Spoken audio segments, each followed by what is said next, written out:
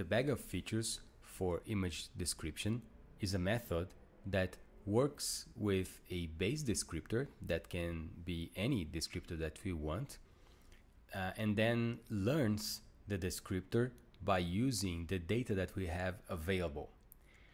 This method was uh, the state of the art before the deep learning era and it's uh, very interesting to, uh, to be studied.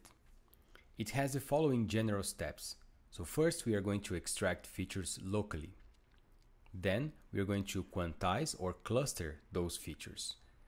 And in, in this space that was clustered or quantized, we are going to learn a vocabulary of visual words that we call the dictionary. Then the descriptors will be the frequency of every visual word in a given image. This uh, means we are going to obtain a histogram of visual words. This technique was inspired on textons for texture, texture analysis and the bag of, of words method for text analysis. So let us take this those three examples of images. In this case, we are um, understanding or uh, trying to illustrate the method using texture. Say that this image will be well represented by using three patches. So by just having three patches, we can well represent this texture here. In the, this case, in the middle, we have those three patches and in the right hand side, other three patches. So the idea is using those um, small blocks or small sub images in order to describe the behavior or the, the texture in general. But note that we are using the actual images to learn this. So for that, we require a training set. That means a uh, set of images that can be used to extract this information and then learn the appropriate what we call visual words. So in order to describe each sub-image, we can use the actual pixel space or we can extract features or descriptors from those sub-images. And then for each sub-image extracted from a given image, we check its similarity with the dictionary, counting the occurrence of the most similar visual word. So let's say we have a dictionary of, in this case, textons that are describing texture no, uh, note that we have a dictionary um, with 12 different uh, patches of uh, texture that, that are called textons.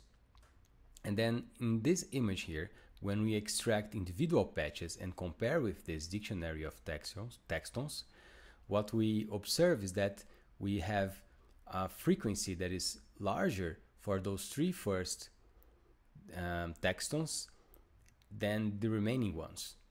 For this image here, we are probably going to observe a larger frequency of textons that appears more similar to those five ones than to the remaining ones and finally for this last image similarly. So how can we apply that in general, not only for texture? Well, the steps are first, define the base features. It can be uh, any feature that we want. Then extract features locally from patches, that is sub-images. In this case, uh, I'm using three um, examples of an, an image of a face, a bike, and a violin. So the feature space is going to be formed by multiple local feature vectors. Instead of having a single vector representing the whole image, I'm going to have lots of vectors representing each image because the, those images were extracting, extracted from patches. In here, the uh, red dots represent face, the blue ones represent bike, and the green ones the violin. From this space that I'm just I just uh, used a plane to uh, a plane to show in 2D, but it could be um, a space with a larger dimensionality we are going to learn a dictionary with k visual words. We could, for example, quantize this space by finding uh, regions and cutting them into regions let's say a fixed grid here. But we could instead run a clustering algorithm. In here I illustrate uh, using a clustering algorithm with k equal to 4. So by defining k equal to 4, I'm defining that my dictionary is composed of four visual words. And those visual words uh, is going, are going to be the centroids of each cluster. I'm saying that those four words or visual words will well represent the, the entire space of images. And this is why we need a training set of images to learn from, from those. So in this case, this patch of violin, this patch of bike, and those two patches of face are, uh, are going to be used as basis for any future inference.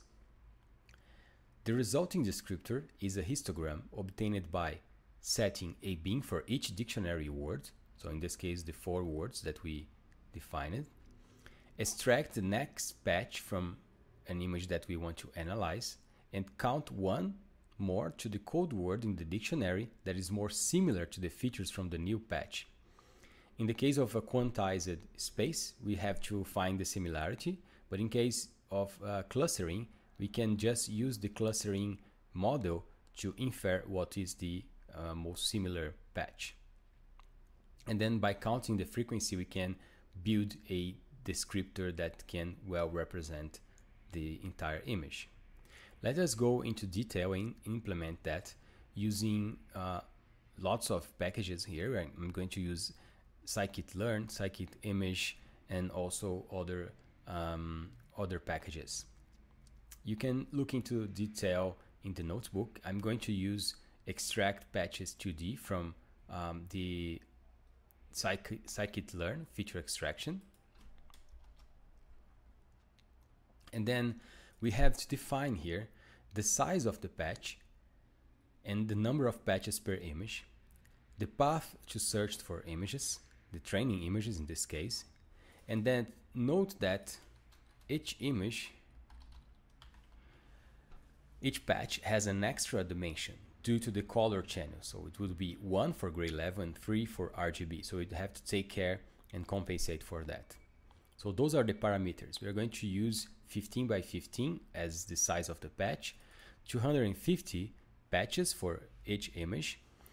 Uh, and I'm going to define a random state here just to make it to, to be able to repeat this without change. So in parallel, I'm going to extract patches from images. This is going to make it faster. And then I'm going to just print that we have 80 images in total in this uh, path here. And the size of each array of patches is uh, 250 because we uh, ask for the method to extract 250, but the size of each patch is actually 675. This is because we have 15 by 15 by 3. Next, we obtain features from each one of the patches. This is just uh, one example of image patch. We could change here, for example, getting another image, a random image here, and see that it gets different patches. So th those are just um, a few patches extracted from an image. We are going to use the LBP as the base descriptor, but we can uh, instead use any descriptor that you want, the color descriptor, shape descriptor, and so on. Then we have to convert the patch array because in the previous uh, example we have a um, the array was organized in images and now I want that to be organized in patches because I want to obtain features for each patch. So after uh, everything runs, we have two, um, so, sorry, um, uh, 20,000 images, or uh, that, that is 20,000 instances that are represented by each patch that was extracted from the 80 um, images. And the size of each instance is 10 because we used a, um, the LBP to be to have eight samples, but we could instead, for example, use any other number. Um, sorry, I just missed something. Yeah, yeah, because now it doesn't match the actual the actual value. So let me change here, change back. Uh, what did I do wrong? So um, let me just run it again.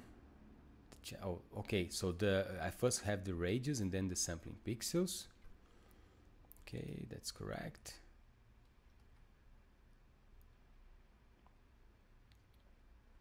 Yeah, and then this is fine.